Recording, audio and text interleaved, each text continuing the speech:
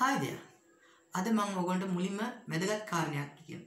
ඒ කාරණේ තමයි මගේ පාඩම් මාලාවේ නාමපද නවුන්ස් කියන පාඩම මම සම්පූර්ණයෙන්ම අවසන් කරනවා. අද මම ඔයගොල්ලෝ එක්ක සාකච්ඡා කරන්න බලාපොරොත්තු වෙන්නේ ක්‍රියාපද verbs කියන පාඩම. ක්‍රියාපදයක් කියන්නේ මොකද්ද? ක්‍රියාපදයක් කියන්නේ කිරීමක් හෝ වීමක් හැඟවීමට භාවිතා කරන පදයක්. ඉතින් මේ ක්‍රියාපද වර්ග කරන්න පුළුවන්. ඒ කියන්නේ කැටගරයිස් කරන්න පුළුවන්. helping verbs auxiliaries උපකාරක ක්‍රියා.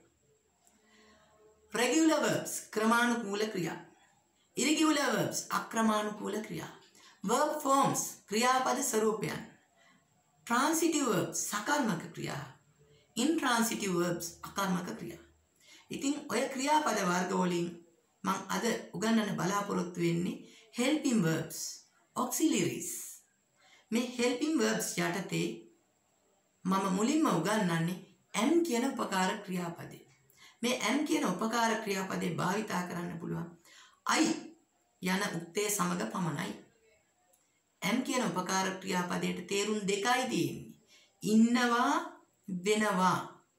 දැන් අපි බලමු am කියන උපකාර ක්‍රියාපදේ යොදාගෙන සරල වාක්‍ය හදාගන්නේ කොහොමද?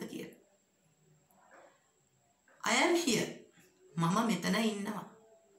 I am there. මම එතන ඉන්නවා. I am with my mother. මම මගේ අම්මත් එක්ක ඉන්නවා. I am at home. මම ගෙදර ඉන්නවා. I am at the junction. මම හන්දියේ ඉන්නවා.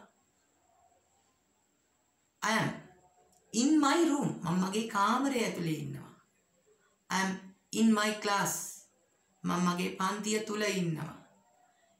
ඉතින් අපි අනිත් රටාව භාවිතා කරමු. I'm a teacher. මම ගුරුවරයෙක්. I'm a boy. මම පිරිමි ළමයෙක්. I'm a lad. මම කොල්ලෙක්. I'm a girl. මම ගැහැණු ළමයෙක්. I'm a lass. මම කෙල්ලෙක්. I'm sleepy. මට නිදිමතයි.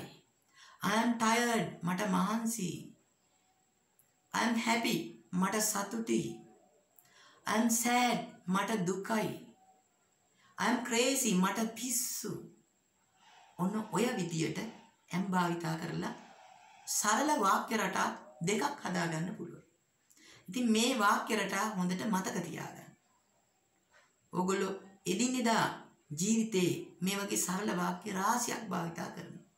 ඉතින් ඔයගොල්ලෝ කැමති නම් මේ M භාවිතය පිළිබඳ තව දුරටත් දැනුම වැඩි කරගන්න.